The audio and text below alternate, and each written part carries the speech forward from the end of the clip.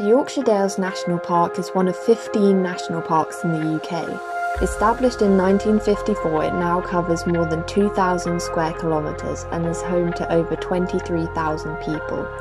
It's a hub for wildlife with over 1,000 moth species alone.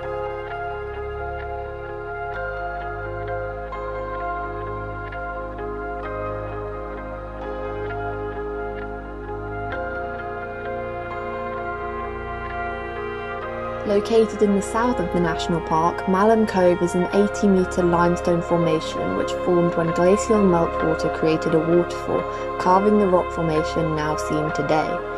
The waterfall no longer exists, but the stream Malham Beck still runs underneath the structure to this day.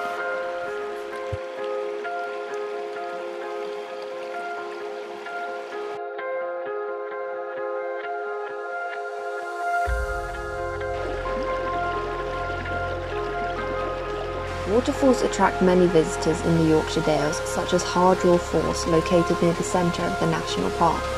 At a height of 30 metres, Hardraw Falls is the tallest single drop waterfall in England.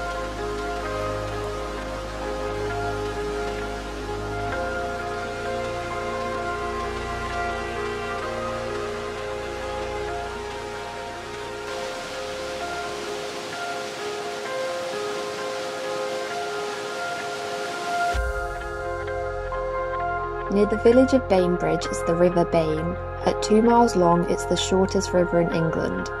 It emerges from Semerwater, the second largest natural lake in the Dales after Malham Tarn.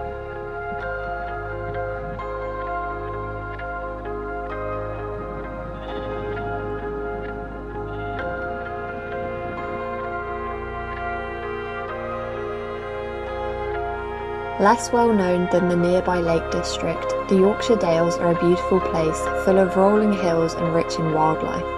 It's definitely a place worth visiting.